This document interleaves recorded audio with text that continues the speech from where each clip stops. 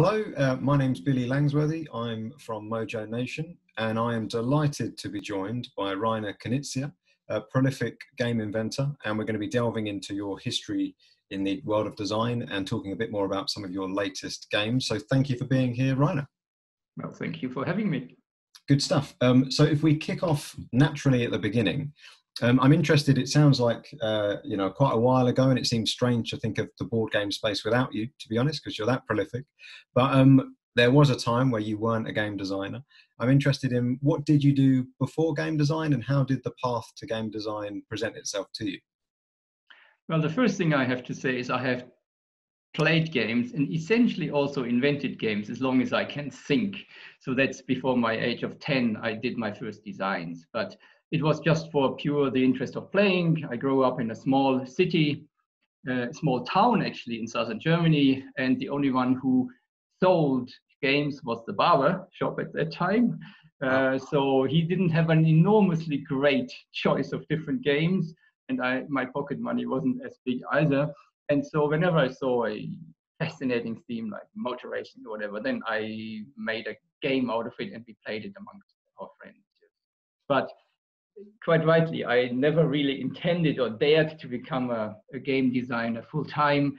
So I, uh, of course, went to school. I studied mathematics, a bit of economy, a bit of physics, computer sciences, whatever is in there.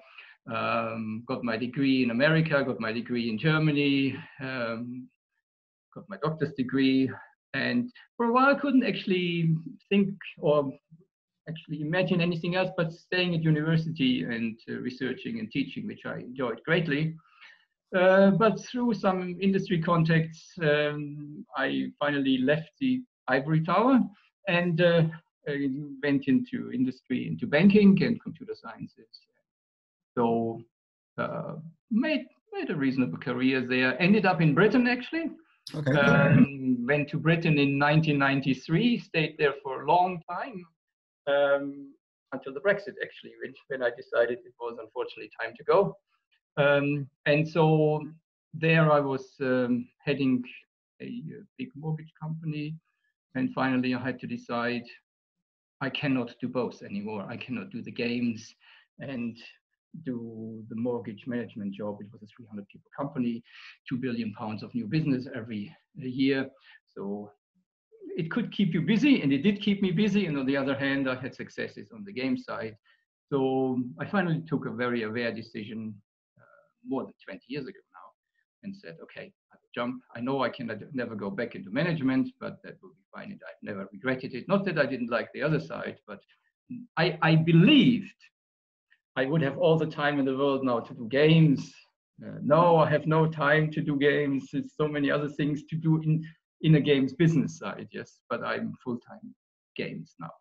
Great. And uh, have you ever been back to that Barbers to see if they've upped their board game? Uh, you might have some of your games in there now. Fingers crossed. Uh, my mother still lives in that town, but um, the house of the barber is no longer there. Every I mean, over the years, everything has changed. So I know still where the place is, but you would there's no house there, and the house is no longer there in Nothing. Never mind. Never mind. And I'm interested, obviously, with that background, you know, the, the degrees in, in mathematics and, that background, how much of that sort of skill wise do you keep with you now in game design? Is there, is there much crossover? I imagine that does help actually when it comes to working out certain things for your games. Uh, yes and no. Uh, mathematics is about building models, and games are, in a way, also a model of certain topics and settings. Uh, so with this respect, it helps. Uh, but there are many approaches to game design, and that's a good thing that each designer has their own handwriting, uh, and that gives us a variety of different games. So um, I think it doesn't matter which area you come from, you always need to be careful not to make this as your only tool because nobody likes mathematics games, people like fun games. And I, I have a favorite quote from an, an Austrian psychologist, actually, Paul Watzlawick, who said, if all you have is a hammer, then soon everything in the world will look like a nail. So don't come with a solution before you have the problem. And mathematics is not the solution to everything, certainly not the solution to game design, but it is an approach of mine that I probably see the world more scientific, whereas other people are more the storytellers or uh, the the artists as such, uh, and that gives different games.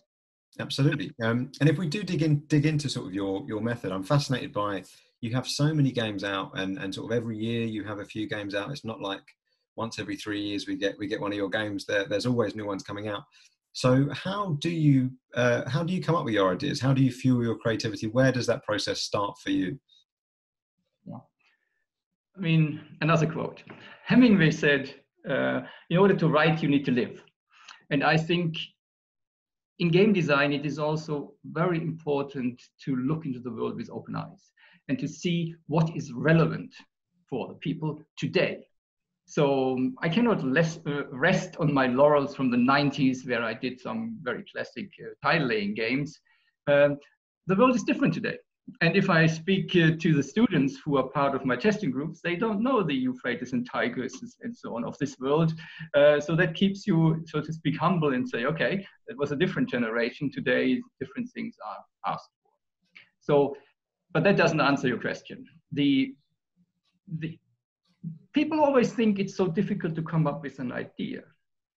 Um, it is not actually because if, it, if games are per permanently on your mind, you, we have lots of ideas. It's either through thinking and concentrating or looking into the world, or also a lot of things through discussions with the playtesters around.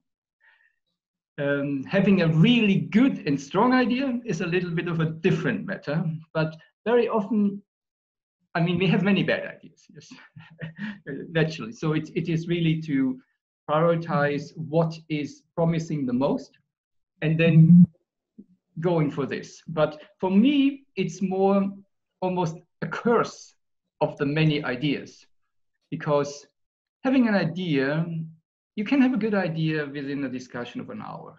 Um, and it can really be very promising. But from this hour, then emerges many weeks and months of work, of disciplined work, to forming this initial idea into a perfect product and there are many obstacles you have to take and there are many blind alleys you have to withdraw from. Sometimes you're lucky i'm lucky and it goes straight forward. Very often it doesn't and you end up somewhere completely different. But then i'm for, not forcing myself into a specific direction just just saying i want a good game. And as long as it's not a card game as i intended but a board game or then some other type of game this is all fine. What counts is the perfect design. And if I'm not disciplined, I'll have many ideas. If I'm disciplined, I work on those which I'm already feeding and try to make them a perfect product. And that's what costs the energy and that's what costs the time. And that's where all the play testing goes in. Yeah, absolutely. And, and you've got such an eclectic portfolio. Like you say, it hasn't been, uh, you know, you've not just doing one type of game, you've got lots of others. And they cover a, a wide array of themes as well. And I'm interested in terms of that part of your process, where does where, where does theme present itself? Is it that right at the very start you say, well, I want to set my game in this world, or does that come towards the end, or how do you explore that? Yeah. Initially, when I was a kid or amateur designer, uh, I or hobby designer, I very often started with a theme. That was what fascinated me, and then I wanted to have that in a game, and I want to experience it through playing. Uh, nowadays, it's different. Uh, of course, the ambition is always to create something new, to create something innovative. And it, it, it, almost sounds trivial, but for me, it's actually a very deep wisdom. Um, I have the best chances to come up with something innovative if I start with something innovative. So I'm trying not to have a fixed methodology and saying, okay, here's the theme or whatever the starting point is, and then these 12 steps, and I'm always trampling along the same path. And then, no surprise, I would always come out at the same end. I do not want to come out at the same end. I want to come out somewhere else. And so it's probably best to start somewhere else. So I'm trying to find new entry points. I'm trying to have a fascinating starting point and then there is always a challenge because if you start somewhere else, then you cannot use your tools which you have developed. Uh, so you have to think anew. and and and that has the greater chance chance of innovation it needs more effort but i mean i don't want to create the 50th ludo game or the 20th monopoly game or the 100th monopoly game monopoly is very successful but it has been done so i want to do something new uh, and that's the ambition and with this respect new trends coming up in our industry i mean the whole electronic side, or when the mobile gaming came up, suddenly you have a small screen and nobody wants to read rules. And then you suddenly have to rethink your whole approach. And that I find extremely stimulating because you it forces you to give up all the old tools. You can no longer use your hammer. You need something else. Uh, and that I find very refreshing. And so it helps me leaving the past. Absolutely. And that, and that sort of leads on actually to my next question in terms of has your it sounds like the answer will be yes but what is the, some of the biggest ways that you've changed as a designer from those early days to, to how you design now is there anything key that you've altered in your in your process i've probably made it harder for me because uh, with such a big portfolio uh, I do not want to copy myself either. So it is always okay. I've done already this. I've done already that. So what what is new? And with this respect, uh, not living in a constant world. At the moment, we have a a big evolution, if not revolution, in many areas. Just look at the book publishing side with the e-books and everything happening there and with the new possibilities, all the digital games, of course, it's quite a while, mobile gaming with all the possibilities, new production possibilities. Uh, so there is a lot of uh, new things happening. And um, essentially, the, the, the new approaches are important, but on a, on a, on a whole, I think my methodology of or, or my my way of playing games and developing games has not really changed. I mean, I said I made it harder uh, because with knowing more games, with knowing more of my own games, it is more difficult to find something new. And we have so many novelties out there. So, how do you stand out from the crowd? But the basic process of developing a game is you develop your concepts, you close your eyes, you look into new worlds, you play around with materials, uh, and then the most part is playtesting. Playtesting, analyzing, changing, playtesting again. It's an iterative process, uh, getting closer, getting further away again, then re retreating. And so inch by inch, you're getting hopefully to the perfect product. Uh, nowadays, people call that design thinking. It's just common sense. Yeah, absolutely. And I'm interested. You've probably pitched, you know, more games than, than most people, and you've, you've obviously got so many games out there. So I'm interested. You know, as as as great as as as it is to have a brilliant idea, you've got to be able to convey that idea, obviously, to publishers and, and pitch it mm-hmm. and, and do that. So, how what is your approach to pitching? What how do you how do you sort of nail that moment where you've got to convey your idea in a succinct amount of time? Yeah. Um, the first thing I need, one needs is a good product. If I'm not convinced of my product, I would never put it in front of a publisher. Uh, and that's the challenge of getting a perfect product. But once you have that and once you're convinced of your products, um, then, I mean, the pitch, I think the pitch is just a technique. It is just, so to speak, how do I summarize the game? If somebody is a book author, if somebody, I mean, everybody can hopefully can summarize what they do as a profession in a few, few uh, sentences or what products they are currently creating. So clearly, when you pitch it, you don't want to explain the whole rules. I mean, you can see, I mean, if I visit publishers, then I have their full attention and we spend more time on it, go into more depth. But then a lot of times these meetings, particularly international meetings, happen uh, on the fairs. And then you need to see the, the other side, the people who are representing the, the companies, the publishers, they sit there in their cell all day and every half hour every hour somebody new comes in and talks and talks and talks and talks and it, it, must be cruel and so for me it is clear i want to talk as little as possible I want to give them a very, very three sentence overview of that. Um, more talking about emotions and what I feel and what is happening there rather than the details. And then if they get a sparkle, let them come because then they are active because they're sitting all day, they're very passive. Yes. But the secret happens much earlier. The secret happens to understand the individual publishers, to understand exactly what products they do, have good communication with them throughout all the time and see are they planning something new? What are their experiences? I mean, I'm getting my royalties reports and I'm getting them from all over the world. So I have a probably in some aspects a much better understanding and overview of what happens in the world than any individual publisher because I work with so many publishers.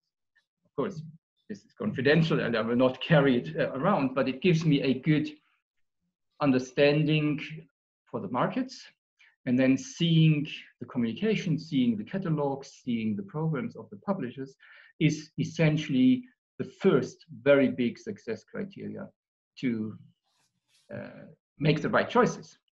I mean, as a hobby designer, you may only have three or five games to offer, so there's no choice to be made.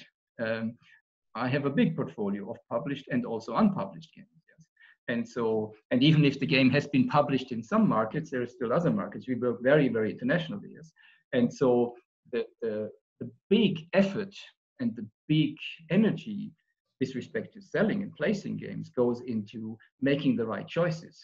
Uh, really seeing I have, I have only probably 10 slots uh, which I can explain. Yes. So how do I reduce all the different games I could show them into the best shots. If I don't make the good shots, if I take games which don't really fit, I'm, I'm losing my opportunities. That's, that's much more the challenge than the actual pit or pitch. Sorry, yes. Yeah, absolutely. And do you think there's, um, you know, you're obviously a name in the industry. You have an incredible track record. People have a, you know, especially publishers will have an idea of your past success stories, things like that. Does that make it any easier for you, or is that is that a trickier thing in terms of that sort of being known for what, what you're known for and having such a such a massive portfolio? In a way it makes it easier because the door opens easily yes? So if i approach a new publisher the door will be open yeah. usually. Um, so this getting this entry is is somewhat easier. I think the reputation is very important. I believe we have a reputation that our games are, and I say ours because there are lots of playtesters, they are very well tested, they are done to perfectionism. So when the publisher looks at it, the publisher does not really have to worry that the game might not work, it's broken somewhere, has an ideal strategy, and all these things.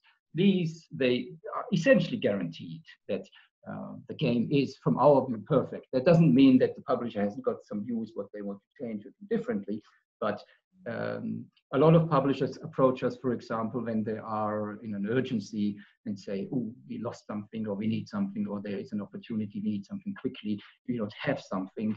And then they know I have a rich portfolio, so we have lots of choices, but they also know if necessary, they can produce it very quickly because they can rely on quality. So uh, this all helps. Uh, and it opens the door and the reputation you, you work for your reputation yes? I mean you, you need to you deserve your reputation a good one or a bad one whatever you have. Um, but otherwise people don't publish my games because they like me. They only publish the games if they're good. And if they're better than all the other games they get offered from other people so yes the door is open but the door is not only open for me the door is open for many people and um, I am in competition with everybody else. I mean, it's not a fierce and unfriendly competition. I think it's a very friendly relationship among authors. And we openly exchange general feedback about publishers' experiences and so on, give each other advice, legal side, and so on. Um, but it is it is a competition and uh, of the better game, and so um, I'm only as good as my next game. Absolutely, and and I'm interested. You've obviously like you've got this portfolio of unpublished games. Do you ever close the door on an idea, or have you had cases where an idea that you first came up with years ago, it has taken many years for that that game to finally get signed? Do you sort of do you ever close the door on an idea, or have you got stuff in your have you got stuff you're currently pitching that you've had for a very long time? When you say close the door on a game, means abandon it and yes, and... It. Yeah, it can't be solved. Yeah. Okay. Um, I mean, these are the big disasters. Uh, in we when we have ideas and initially try them out and play a little bit with them and invest a few hours in the idea, most of the ideas die in this state. And that's okay because that's the normal way of creativity to explore things and uh, be very harsh initially. Uh, the big danger is to fall in love with a design, even so you somewhat know it's not going to make it. And then the, the, the sunk cost fallacy, uh, invested so much time, it has to work now. This is to be, I would actually say, to be avoided under all circumstances. And there are some, if you want, catastrophes where we have spent a lot of time into a game and we couldn't market it. It's rare cases. Um, and when I look at some of the games, maybe two, three years, four years later, and we couldn't offer them, we, we couldn't place them, um, then for these games we couldn't market, I, I then find a reason with a certain distance that I shouldn't have done it or shouldn't, it's not quite there, or it needs to be different. Uh, because the theme is not right or because the whole positioning is not right. These are rare cases. They happen, uh, but I want to, as I said, I want to avoid them. And it's the good thing here again is because we have so many games in development uh, that there is a natural selection process. Always these come to the forefront, which really move quite nicely.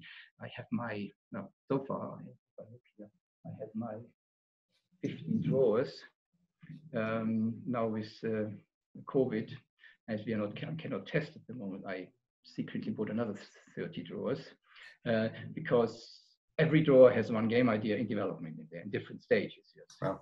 So of course you cannot feed the 80 monkeys, uh, even if you could full-time testing. And so uh, the ones which are exciting come on the play next day and then again next day and the one which isn't really going well, I say, okay, I'll look at this later. And then you move on to other things. And then I look at the drawer and say, I haven't opened this drawer for a whole year. So what now? And then you have a much more distant way of looking at it. And knowing this sharpens your decision making and saying, is that really, should that go into a drawer? There are actually designs or concepts waiting to go into drawers and they're not just allowed to jump in there and occupy a drawer and then um, make work and all this stuff so it's it's a very careful decision which game actually goes as such into which idea goes into development yeah absolutely. And i'm interested you've you've had so many games out you, you uh, you've got lots of classics that everyone knows but obviously with a portfolio the size of yours there's bound to be lots that people uh, either missed when they came out or, or aren't aware of. Is there any of your games that you think um, you know didn't get the credit it deserved or you think actually i wish that one was was up there with the ones that everyone always talks about what what uh, what neglected uh, classic would you say people should revisit and, and shine a light on okay i have many of them who deserve better but it's half half jokingly it's I mean, there, there are games when i look at them which were published 20 years ago in some markets, and that was 30 years ago, and I look at them today and say, okay, they were good for their time, but they are no longer um, up to date, and therefore I let them. I mean, rest in peace is, is too hard to say. I say they had their time and it's good, and I'm I'm not activating them again. But there are many games which are the classics or just nice games which come out year after year in different markets, and um, yes, these these I would more follow through and, and, and bring them to market again and again. And you never know. I mean, some of my very successful games and well-known games like uh, Lost Cities, two-player game. Um, when when you know, uh, when of course you do, uh, knowing the industry, there was the classic series of two-player games from Kosmos. So I went to Kosmos and said, "Look, I have a nice two-player game." They said, "No, not enough to it." So, and then for one and a half years, I walked around and, and showed it to many people. And I got a lot of rejections. Um, people, I got such a lot of rejections because people didn't even want to take it to test it. They looked at it, I explained it. And so eventually I went back to Kosmos and almost bullied them and said, I mean, I've not got the power to, to demand anything, but essentially I leaned on them and said, this is a good game. And then we, we talked about the bigger cards and so on. And look what big success it was. It was actually the origin for uh, for Keltis, which then won the game of the year and everything. Another example is uh, Pickomino or Heckmeck, the worm game. Yes, um, nobody wanted it, and it had a different theme. So that also shows that success doesn't only come from my designs and my work. It also comes from the good cooperation with the publisher, and in this case, Stockstedt puts a chicken on it. And putting the chicken on it uh, certainly made a lot of the character to the game. And in the end, you can never say how much is it the ingenious design you have, or is it just having the, the wrapping around it in the, the best circumstances is everything together which makes it. So it is by far not clear when you get rejected if the game is really not good. And it is by far not clear if you have a very successful game that it will live for many decades uh, because times change. Absolutely, and and I'm interested. Is there a game out there not from you that you think, oh, I wish I wish that was one of mine. I wish I'd been the the mind behind that. Is there is there one in particular that not that you? I mean, you've got a lot of your own games out there, so uh, I understand if not. But there isn't a particular one. Um, I am again and again surprised what people can sometimes do uh, with materials which have been there for a long time. For example, I remember when I was with uh, Richard Garfield, the inventor of magic, and who essentially uh, created by himself, or essentially triggered by himself, the whole industry uh, of collectible card games. He actually, when I visited him in uh, on the on the West Coast in America, in Seattle, um, he showed me the game. And I actually said, Richard, this is not going to work. it's too complex. Uh, I can hardly understand it when you explain it to me. Um, of course, he's a multimillionaire and he actually shaped the industry with collectible card games. So I cannot say I wish I would have, uh, I wish I had uh, uh created it because uh, I'm still convinced it can't work, even though he has sold billions of them. So that also shows you your own experience is is not always reliable with this respect. I mean, now look at the uh, deck building games. Another way to do something with cars, and you say, hmm, how could you? Look, how, how does this come out of nothing? This brilliant idea, and again, giving a whole trend of things. So yeah. it's I would like to create all the trends in the games industry. Unfortunately, there are other people who have good ideas as well. So um, I'm kind of panicky that I get these ideas before other people. I mean, there are ideas in the universe which belong to me. And so some people, they just have no respect. They go there and they steal my ideas before I have them. But once I see the game, I clearly say, well, this is my style. This should be my game. It's, I'm just kidding. But there is certainly, when I go over the fairs, certainly some kind of panic and saying, oh, God, this was a good one. Um, and I need to go home and work harder. Absolutely, um, and you mentioned Kosmos there, so it's good uh, a good a good sort of launch into into our next question about um, My City, which is obviously nominated uh, for Spiel. Um, for anyone who hasn't seen that game yet, um, how would you describe uh, what My City is with Kosmos? My City is a legacy game. A legacy game is a new trend in our industry since a few years, where you do not play the game only once but you play it, of course, you every game gets hopefully played more than once, but the game changes. From play to play, uh, something happens. New cards come in, you glue something, you put a sticker on the board. Um, so you always find yourself in a new situation, but it's not predetermined. It is for what you, what you do during the first game that influences the situation you find in the second game. Uh, so that's the basic genre, so to speak, of my city. But so far, the legacy games have been quite complex. Uh, lots of rules, lots of materials, high prices, um, long obstacles to get into the game, uh, long playing sessions. And I wanted to open the door for the legacy type of games. I haven't invented the trend, so I thought, okay, at least I add something new to the trend. I open it to new players. And So the ambition was, and I think it has worked very well in this respect, um, to make a legacy game which is for the casual players. Still interesting enough for the gamers, but for the casual players with simple enough rules so that you can read a page or two of rules or have it easily explained in five minutes.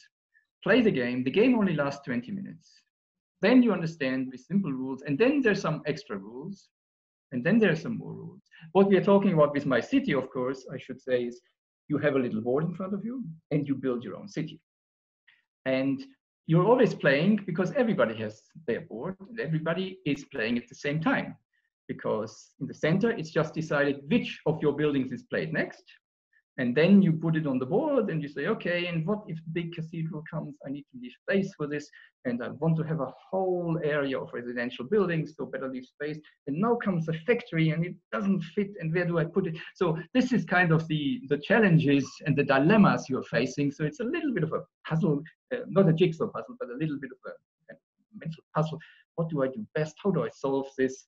But it goes very quickly. And after 20 minutes, you say, okay, ah, this either worked very well or no, I need to do a different approach. So you play again, yes? But of course, what changes? If you cut down the trees from the wood there, then the trees are no longer there in the next game, yes? And so um, we have structured the whole My City playing experience into eight chapters. So it starts with early settlements and then come bigger buildings like churches, cathedrals, then come the gold rush or natural catastrophes, floodings.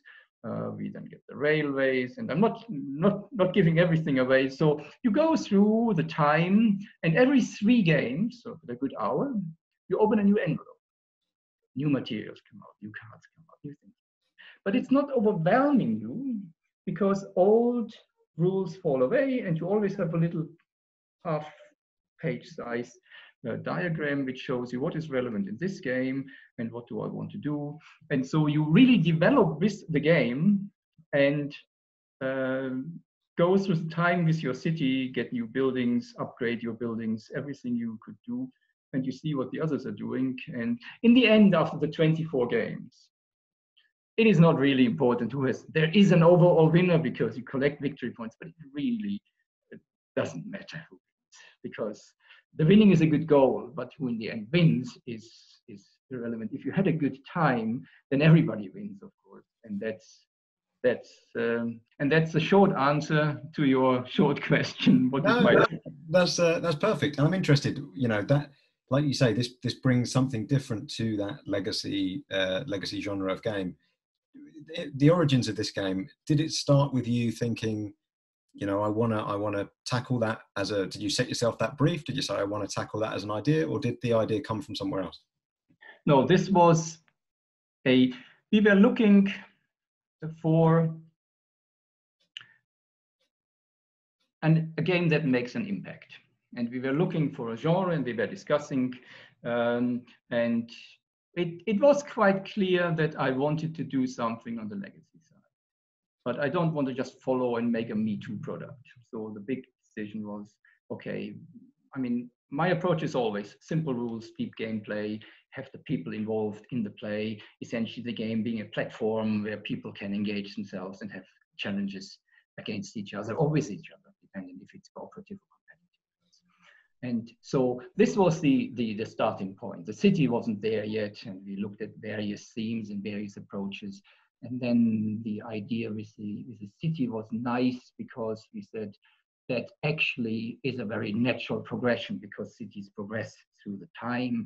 And it's also clear that everybody could have their own city with the very big appeal that there's no downtime in playing because we can then create an engine in the game which gives us the challenges. So essentially everybody plays the same situation, but depending on how you play, you have a different outcome. And you, you cannot really complain, saying, oh, because the other one had the same situation to play with. Of course, there's a bit of luck involved, how, how the order comes out and so on. And, and so it, it kind of all fell into place, uh, the initial concept.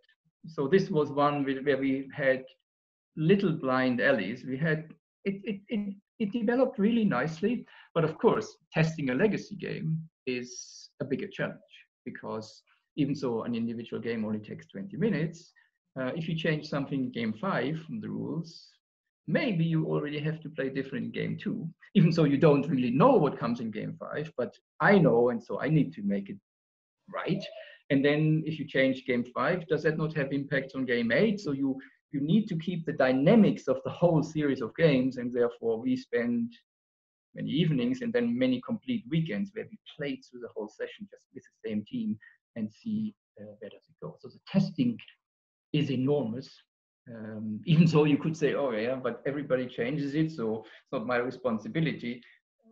Not true.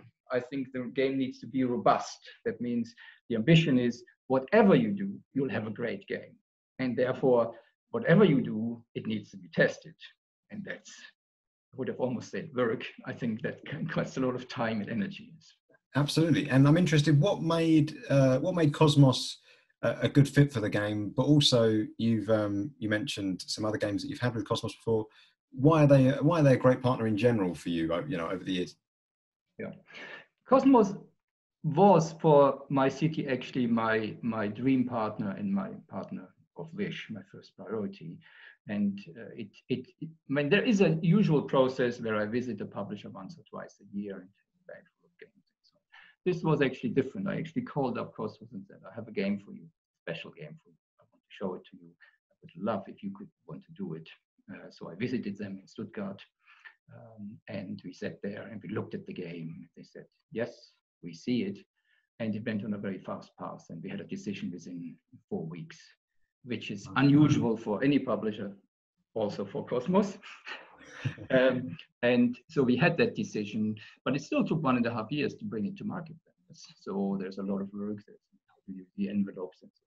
But the nice thing is um, Kosmos is very professional in game development, and I said before, the game, a good game, a really good game, is a comes from a ideal cooperation between the author and the publisher, because both sides influence very much how the product looks like, and if that gels together, and if the relationships work together, then you you you have a good potential. There's no guarantees, but you have a good potential to get a very good game out. And Kosmos has also uh, the advantage that they are very well uh, in a network internationally. So I knew if the game is with Kosmos, then it will be in many different languages in many different countries. And that's, of course, important as well because I want to reach many different people.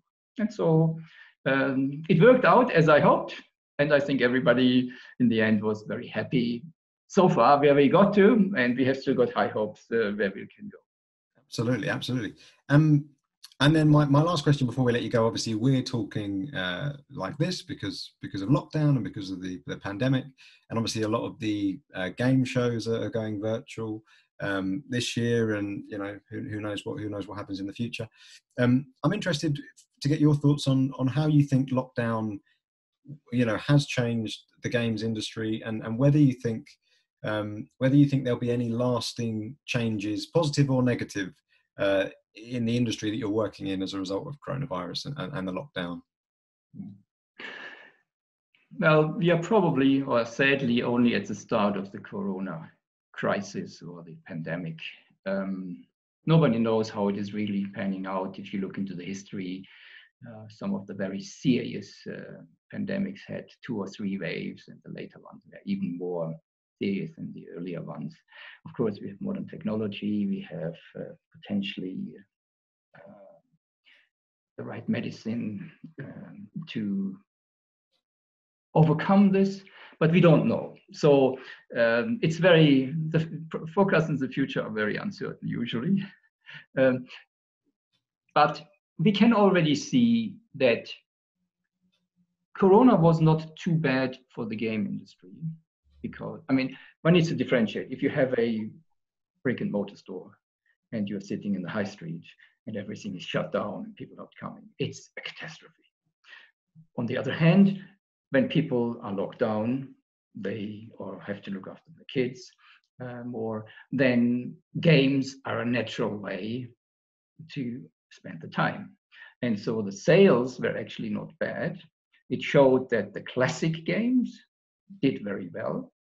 novelties usually had it very much harder because you, you didn't get the initial kick. Uh, but there are exceptions like my city, where the kick came through it being special.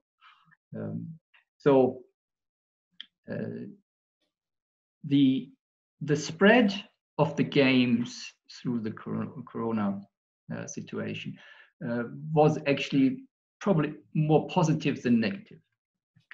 Um, the industry, many partners in the industry are suffering, and that means there will be certainly be people leaving the industry because they go insolvent or they, they need to change their business model.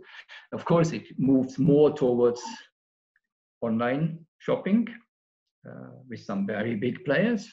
And so the traditional shops who bring the variety, who also bring very good advice, recommendations, uh, guide you to the, to the right product, uh, may be lost more.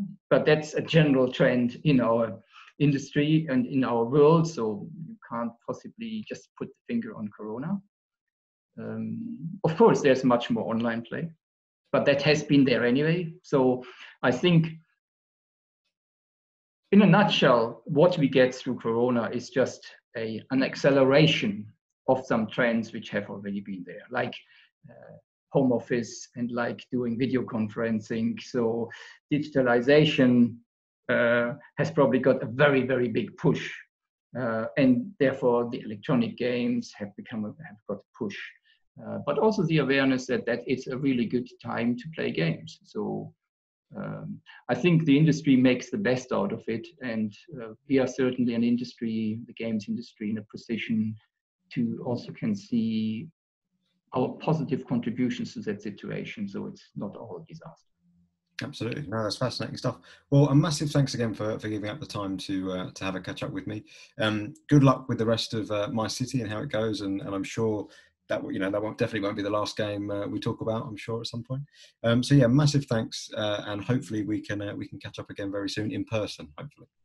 Well, thank you very much, and yes, um, hopefully the virus will soon vanish, and eventually, yes, of course, everything will be back to inverted commas normal if it has ever been normal.